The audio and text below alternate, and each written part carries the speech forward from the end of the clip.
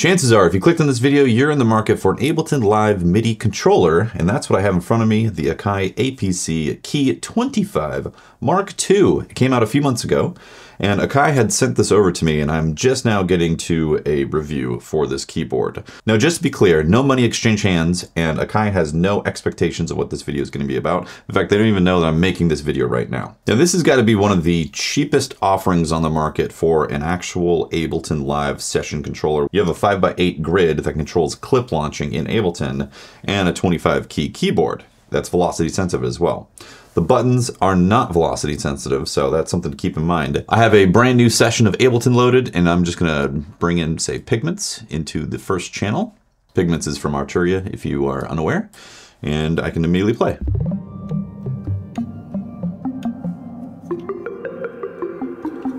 And it automatically shows that it's selected right here for these pads that are dimly lit red. So that means I can start playing right away, or I can start recording if I just tap a button.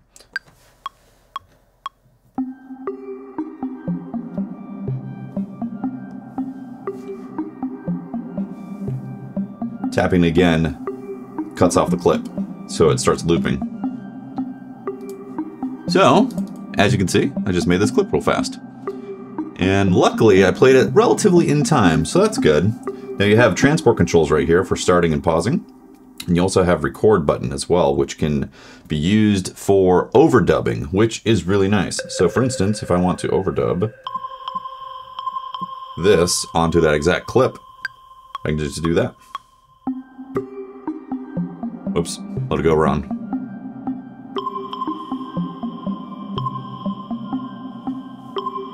There we go. I can tap it again, and overdub stops happening on the session view. Let's grab another instrument, like the MiniFreak.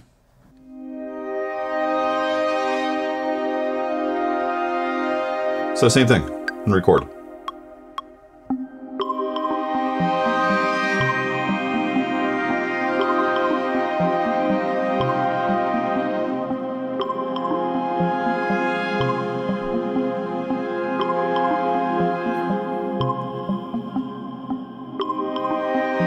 Good to go. So as you can see, it's very fast, quick, easy way to be able to get kind of a hands-on experience with Ableton. The knobs take it a step further as well. So you, as you can see right here, it says knob control, and knob control can go from volume, pan, send, and device. And device is where it gets really interesting. Obviously, volume is whatever's happening on the screen. So as you can see, my first track is now currently being adjusted volume-wise. But if I wanted to control actual elements in the device, then you would go to the device. So you hold shift, and go device, and now I can control stuff that is in, say, the MiniFreak. So for instance, we can go macros. If I click this little arrow, bring out configure, then whatever I touch, I can then map. So there we go. And then touch this and map this. So now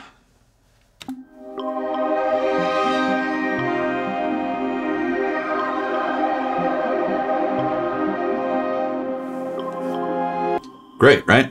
Now, if I want to actually record that automation on the clip, I have to select this button right here, which is automation arm. Now, if I play, it still does not record, but I have to overdub. So if I hit the record button here, it'll start uh, recording that automation.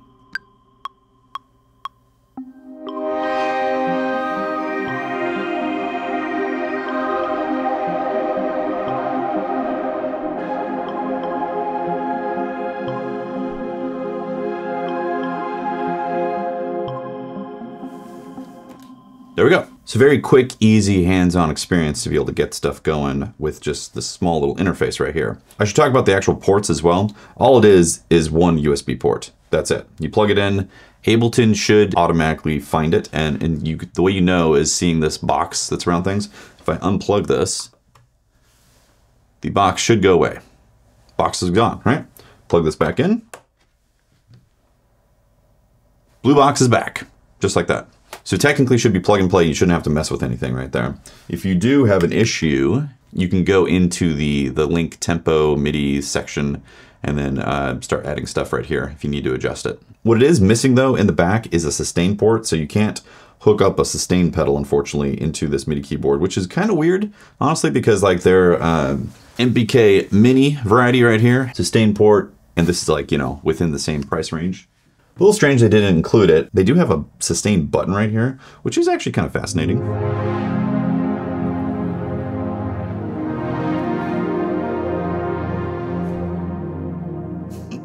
Yeah, that's kind of a different way of approaching it. And sometimes I do like to just hold a button to sustain stuff, or if I don't want to take the time to hook up a sustain pedal, that is actually nice to have. So kind of something that the other keyboards don't have, really. By the way, if you're enjoying this content, a like, subscribe, and comment below would go a long way, so thank you very much.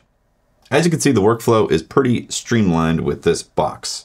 And obviously I'm still using a mouse and keyboard to control stuff and select things on screen, which you would do. Um, but if this was hooked up to a laptop, this would actually do a pretty good job. There's some things that are missing though, specifically modulation and pitch wheels. So if you were to pick up, say, an MPK Mini Play, you have this guy to be a pitch bend modulation wheel, and that is missing from the APC line. If you were to get the AP, APK Mini, like that has that same type of deal. If you were to go over to the competition, the Launchkey Mini, this actually has pitch mod wheel type of stuff right here, and also has a drum grid two by what, two by eight? Yeah, two by eight. This is probably the most direct competition to the APC key. And it's a good alternative as well because it has like some interesting arpeggiator options and does have a MIDI out right there if that's something that uh, concerns you for some additional studio stuff. Also, the pads are velocity sensitive on the, the Mini, which is nice. So that is one of the things. The, the pads on the APC Key 25 Mark II, they're not velocity sensitive. They're more like gushy, you know, it's like, it feels like buttons that you push in. So you're not getting a drum pad experience. Something like the MPK Mini right here would be better because these pads are actually really good drum pads right here. They're they would be considerably better than uh, the APC. And I think they're better than the Launchkey Mini from Novation as well. But that ultimately is user preference. And speaking of personal preference, the keys are one of those things where it might be something you enjoy, maybe not. You might just kind of get by with it. But they are they're technically generation two keys, so they do have a bit more velocity sensitivity. And there's no aftertouch, so if that's something that you care about, you know, keep that in mind. No aftertouch. In fact, all of the the mini key line from Akai has no aftertouch. The Launchkey Mini also does not have aftertouch. And these keys, I think, are slightly worse than the Akai APC. Not that they're bad, in my opinion, but I've seen other people online say that the the Mini is like the the worst keys, or they're the least favorite keys out of all of them that they played. I personally don't mind it. I've made some beats with this, and I actually really enjoy this setup right here. And also, size-wise, what is that? Looks like the Mini wins in terms of size. It's like slightly smaller. It's like a little bit wider, but you know, not as tall. I guess they're about the same. And this feels slightly lighter also. They're, they're probably like a slight uh, discrepancy in terms of weight. But the, the APC feels a little bit more chunky. And the build quality does feel slightly better on the APC versus the Launchkey Mini. But if you're new to music production, and especially new to actually playing on a keyboard, you probably wouldn't miss the features that I'm talking about, like a pitch wheel modulation I think you probably wouldn't even realize it until you actually get a different keyboard that has those and realize the, the benefits. And Aftertouch is one of those things where if you don't know why you'd want Aftertouch, then it's definitely not something that you need to concern yourself with right now. It's one of those things where if you're more experienced as a keyboardist, then understanding what Aftertouch can do to your sounds as you're playing is going to be important. But if you're new, I wouldn't worry about it. This keyboard will be perfectly fine for you. Now I do have the direct cousin of the APC, the APC Mini. There's no keys on this one.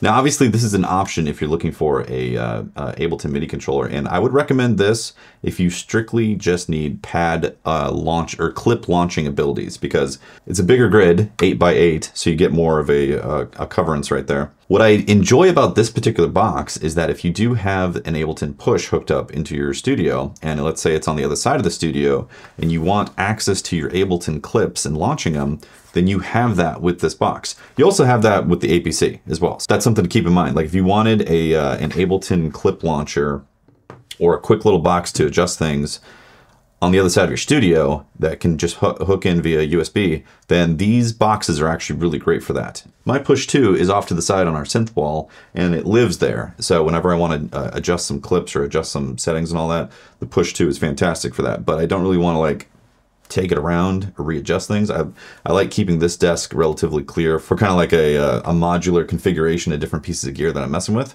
But I do miss having the direct Ableton Live clip launching control. So the APC line fits that pretty well. However, there is no velocity sensitivity on these pads.